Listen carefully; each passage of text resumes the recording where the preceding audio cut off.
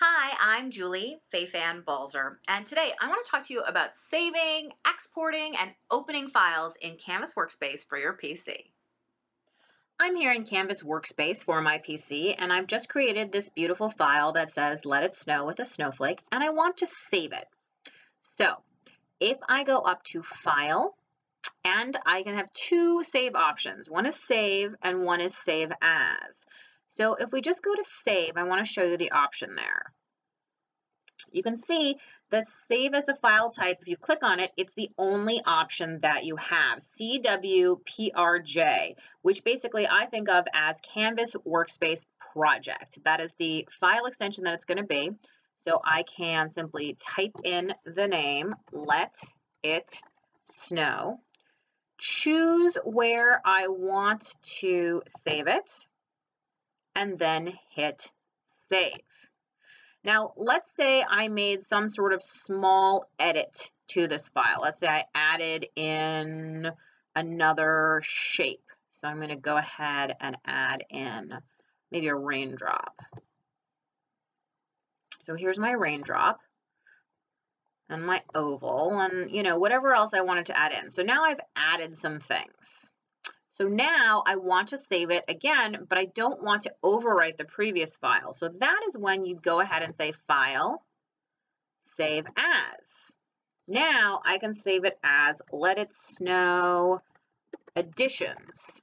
And again, it's going to save it as the same thing, but now it's going to be a separate file instead of overwriting the original if I want to leave that original alone. But you know that to cut, you need an FCM file or an SVG. So I go up to File. This is not considered saving when you export an FCM file. So I'm going to click on Export.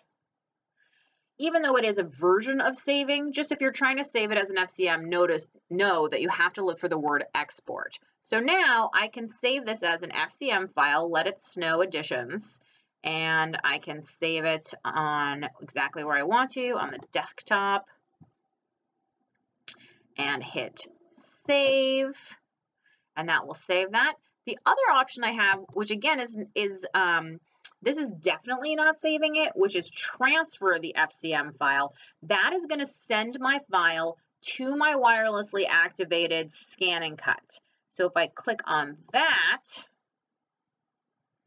I'm going to now find that file on my scan and cut. From the home screen, I'm choosing pattern and the wireless button. Ta-da! There's our incredible file, which of course I can do whatever I want with now at this point. It's just another cutting file. Now it is not saved, okay? I did not save it when I exported it to here. If I go home again, it'll be gone. So if I want to save it, I need to use the save button in the machine. And in that case, I have my options to save it into the machine, to scan and cut canvas, to a USB thumb drive, or direct to my PC. Now, also under the File menu, you may have noticed Import SVG FCM file. So if I wanted to import a file either in a file extension SVG or FCM, I could use that. And right here, you can see I have several options. I'm going to go ahead and bring in this one, open it up. And you can see there it is. The next option, however, is what if I want to open a file that I've saved. So I'm going to hit open. And what you can see is my PC is only showing me these Canvas Workspace project files, no FCM files. So for that, I can just open the Let It Snow and say open. And I'm going to say I don't want to save the changes to that. I'm going to go ahead and open a new file. And there's my original Let It Snow. So let's just go down really quickly so that you can remember what each of these is for. So open is when you want to open a Canvas Workspace project file. Save allows you to save as a Canvas Workspace project file. Save as allows you to, again, save as a Canvas Workspace project file, but not overwrite your original file.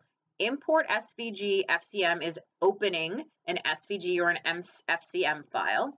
And exporting an FCM is going to save it as an FCM file. And finally, transferring your FCM file is when you're going to send it wirelessly to your wirelessly activated scan and cut. Thanks so much for watching. I hope this cleared up some of the questions you might have about working with files in Canvas Workspace for your PC. For more tips, tricks, and tutorials, be sure to visit my blog at balzerdesigns.typepad.com, subscribe to my YouTube channel, and of course, don't forget about the ScanNCut website at scannandcut.com.